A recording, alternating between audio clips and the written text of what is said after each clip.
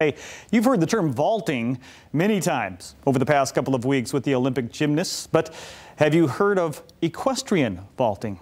If gymnastics and dancing on the back of a moving horse sounds like something you'd like to try, Michelle McLean from Grove Equestrian joins us this morning to tell us how you might be able to give that a shot. And look there, she's got a friend. Hi, Michelle. How are you? Hi, Todd. How are you? Yes, this is Rhapsody. He's one of our vaulting horses. Um, he you said it. You really summed it up well. Vaulting is gymnastics and dance in the back of a horse.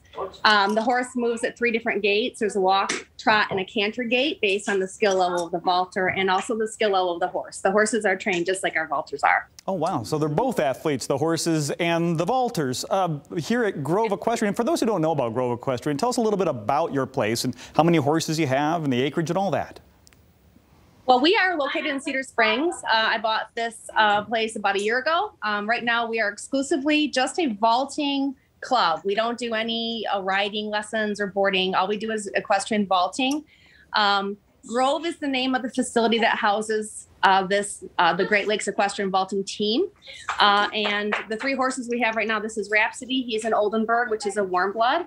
We also have, I don't know if you can see, we have a Jethro, uh, over there getting tacked up. And then we have a little little Xena. You can just see her hind end. So we have vaulting. Um, they all have different like specialties in terms of where they are in their training and what the vaulters use them for. Yeah, and how do you train a horse to be a vaulting horse? What, what's entail uh, that entail?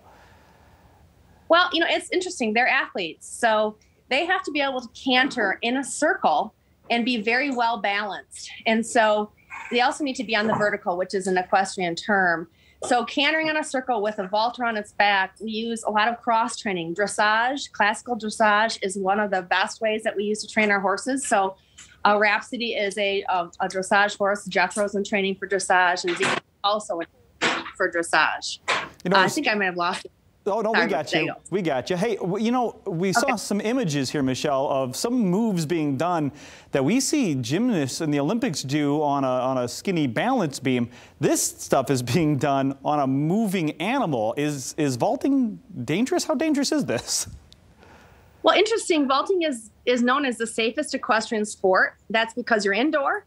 The lunger is in control of the horse uh, on the lunge line and the horse is trained for its temperament and its capacity to tolerate multiple different variables from loud sounds to, um, you know, getting sometimes the vaulters may land hard on a horse and they tolerate that. We train them specifically for that. So I think the the times I've seen people being injured, it's mostly where they were goofing around and, and weren't, you know, paying attention when they dropped, or they jumped off, things like that. So, okay. um, but it is the safe sport. And you notice there's no helmets, Todd. That's because helmets actually can increase the injury rate in vaulters because they need to be able to move around so much. So that's another interesting facet of equestrian vaulting, no helmets. Yeah, it's a pretty interesting sport. Uh, who vaults? I mean, who can vault? If someone wants to come out to Grove Equestrian and give it a shot, uh, what, what are the age ranges for this?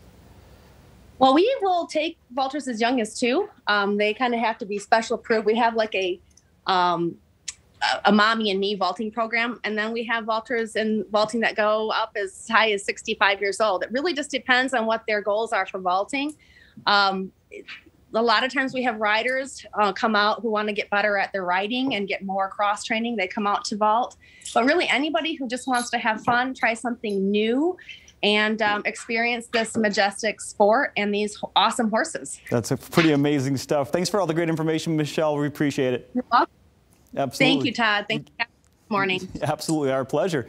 Hey, Great Lakes Equestrian Vaulting, that's the group, meets at Grove Equestrian in Cedar Springs every Saturday at 10.30 in the morning for one hour. You want to learn more by visiting glequestrianvaulting.com.